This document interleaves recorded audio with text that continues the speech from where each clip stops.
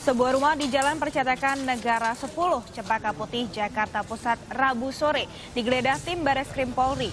Rumah ini digunakan untuk menampung TKI ilegal sebelum diberangkatkan ke luar negeri. Petugas membawa pemilik rumah sekaligus tersangka kasus perdagangan manusia.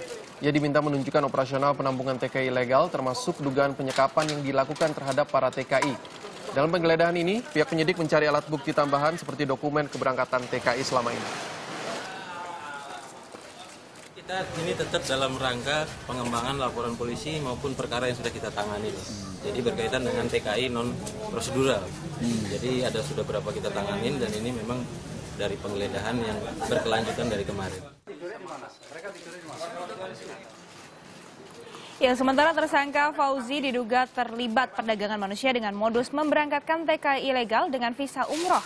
Tersangka dijerat Undang-Undang Tindak Pidana Perdagangan Orang dengan ancaman hukuman maksimal 15 tahun penjara. Sementara dari keterangan warga, penampungan TKI ini sudah ada sejak 20 tahun lalu. Dan warga pun tidak terlalu mengenal pemilik karena tidak pernah bersosialisasi dengan warga lain. orangnya tuh nggak nggak ini sih nggak apa nggak Sosialisasi keluarga gitu ya? ini TKP nggak pernah keluar jadi nggak tahu orang-orang sini juga nggak ada yang tahu kalau ada masalah apa-apa Berapa lama bu udah bu jalanin? udah lama sini udah lama Ada berapa lama bu? Berapa tahun? ya saya semenjak di sini tuh udah ada Ya, ya. di sini saya dari tahun berapa ya 85